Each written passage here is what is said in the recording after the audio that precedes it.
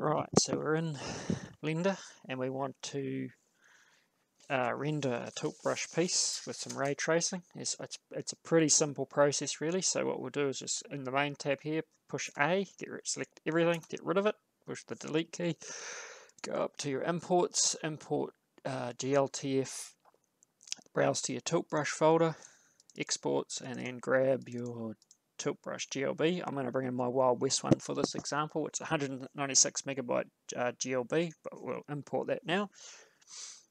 And we'll just wait for it to load. There's a couple of things you got to do to set up, but it's, it's, it's so simple. There's not a lot to it. So um, I'll just go to a side view here.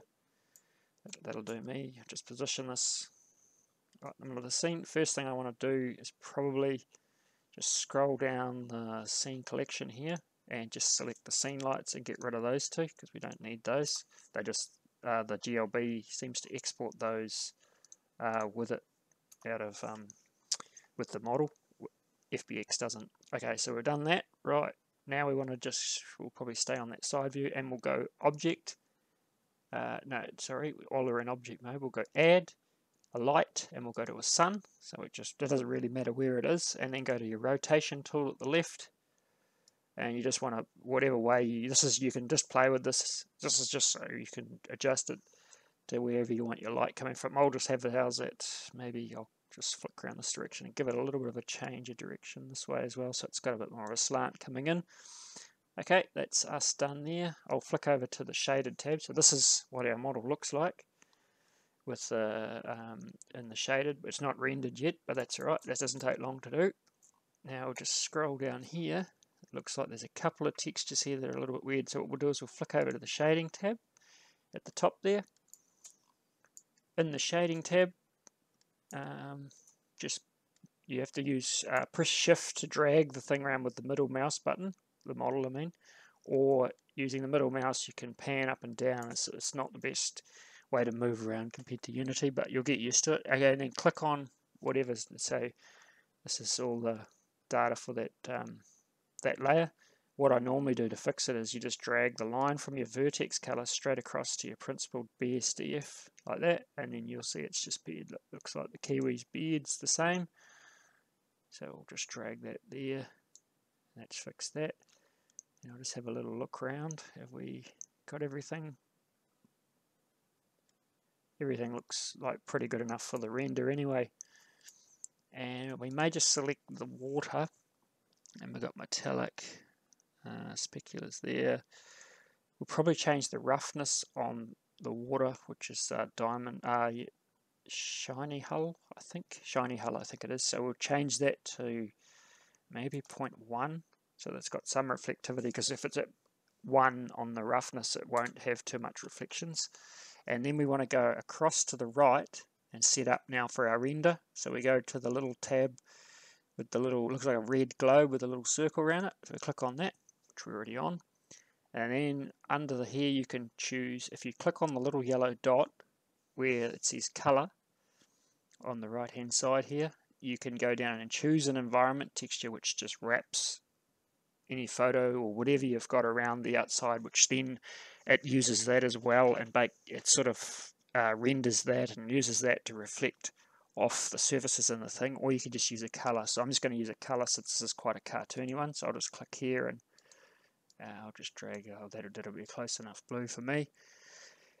And we're pretty much really just about set up to render now. So what we do then is just go up on this little row of uh, menus here. We just go up to the these icons, go to the camera. It looks like the back of a DS, DSLR camera. Click on that over to the right there you'll see it says render engine change that to cycles. Um, for your device I generally use GPU depends how fast your CPU or your GPU is GPUs are generally faster so click on that.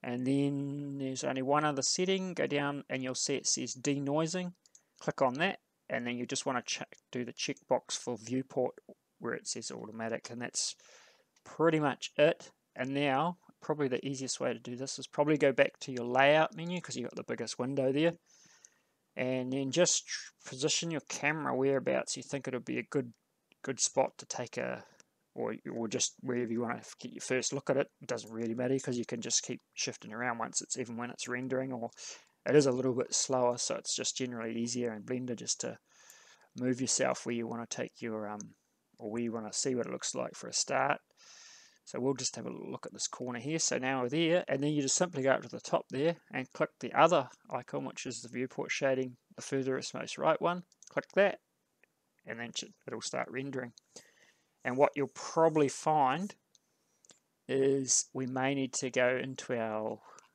scene collection here. I probably should have done this first, but you never know until you do it first time, depending on what you're rendering. Click on the sun, and then down on this little row of icons here, you click on the little light bulb screen. This is your sun. You can change its color. There's all sorts of stuff you can play around with to uh, jazz up your scene or whatever. I usually just, for my ones, I'll whack this up since it's cartoon. I'll, I'll whack the sun up to about 10. Try that. Oh, yep, that's brightened it up a bit. But yeah, look at the, uh, as it's rendering now, hopefully this comes through right in the video, you'll see how much extra that this ray tracing is adding to the scene. So you can get some pretty spectacular screenshots. And the other thing, I'll just switch out of uh, the ray trace view for a second, back to shaded, and we'll go to the shading tab. And we'll just position ourselves again, maybe over by this pond this time.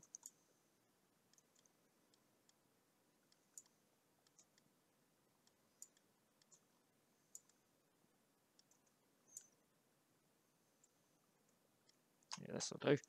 Okay, so we've done that. So now what we'll do is we'll go back into ray traced. We'll just click that little circle again and then it's coming up.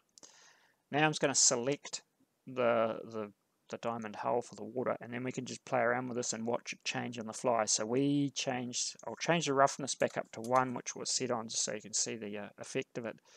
So it's, it's a pretty flat color now. Now if I take that right off, should be almost mirror-like.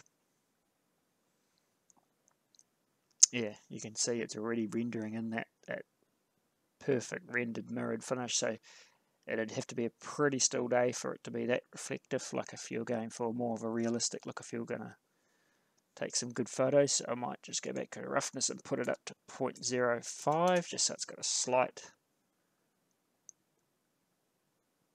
just a slight blurring, like it's got a little bit of water to it. Like you can really play around with it. I'll go even get I could try 0.4 and see what it comes out like. It should be actually quite quite blurred. See that's it's really only just marginally got a little bit of it's virtually no reflection. There's some very close to the edges. Um, we could go 0.2. We could try half that. Yep, and see you'll just get a quite a blurred thing, which can be effective too, depending on what you're after really. But um, it's really just to show, this video is just to show you how simple and easy it is to bring in a tilt brush piece and render it for some great screenshots. And I'll just take this back to point one. And if I just try to zoom out here, you'll see it's quite sort of quite jerky, slow frame rate when um, it's trying to render at the same time. So it's quite often easier just to tab out of the at the top, just click the circle to the left of the uh, ray trace one, drag your scene where you want to see it. Um, we'll just we'll crowd around here. We'll go and have a look at the uh, the horses in the middle there.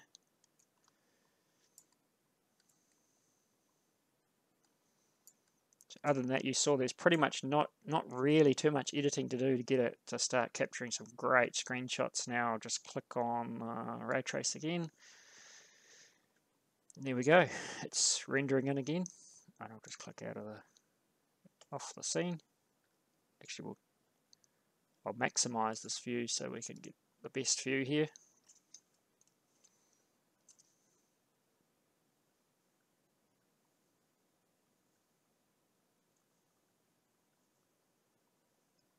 Here we go.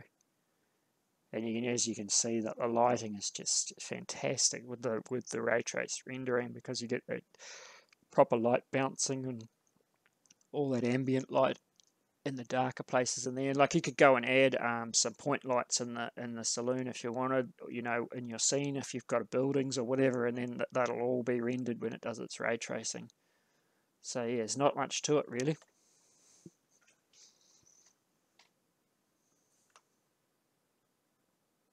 but I can I'll run it through the steps one more time just so if anyone wants to do it I can go through them I'll just do it step by step so I'll just tab out of the uh, full screen view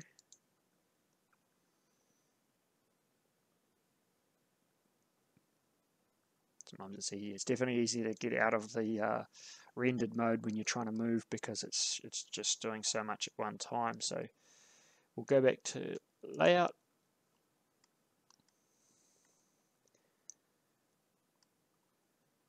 So basically you bring your model in, as if you've just imported it. You add your sun, which we've already got now because we've already done this one. You add your sun. You can even rotate it around for different screenshots at different angles. We'll do that. Once you've done your sun, then it's just straight over to the shading tab. Fix any um, layers that may not be rendered, which is just basically dragging your vertex, a line from your vertex one to your base color on the principled BSDF and then to the materials tab, oh, the world properties one, sorry, over the right there. And then you can add your either your background image or your color.